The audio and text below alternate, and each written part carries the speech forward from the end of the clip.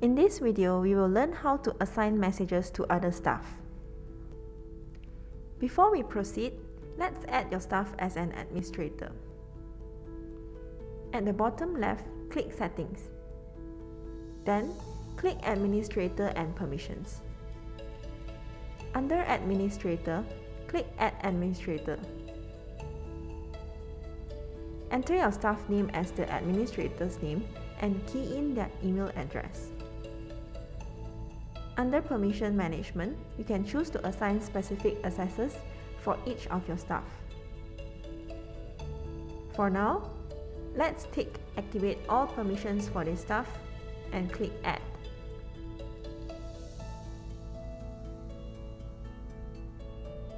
After you have added staff to manage your shop, you can assign chat to your staff to handle. Click on Message Center from the left sidebar and click View your message.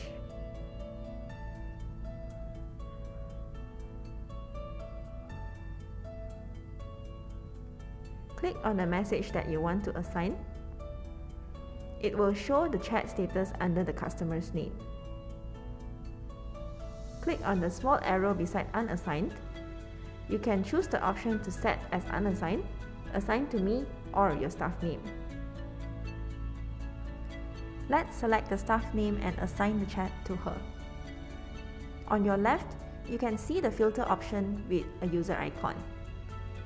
You can select this to check the chats that has been assigned to your staff by filtering the staff name.